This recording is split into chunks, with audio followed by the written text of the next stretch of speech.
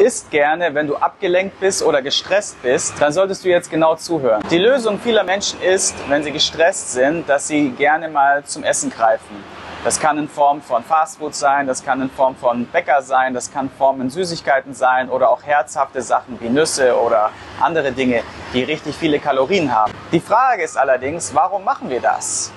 Und der Auslöser hierfür ist Stress. Wenn wir es gemeinsam schaffen, über die nächsten drei bis sechs Monate deinen Stress zu reduzieren und Lösungsansätze zu entwickeln, die in deinen Alltag integrierbar sind, sodass es nicht mehr dazu kommt, dass der Stress dich zum Snacken verurteilt, oder verleitet, dann wirst du es schaffen, dauerhaft eine Wohlfühlfigur zu halten, ohne auf alles verzichten zu müssen. Entscheidend ist, dass wir die Ursache bekämpfen und nicht die oberflächlichen Dinge wie zu viel essen, Süßigkeiten essen, snacken oder andere Diäten und Diätformen in den Angriff nehmen oder in den Fokus nehmen, sondern dass wir uns um die Ursache kümmern.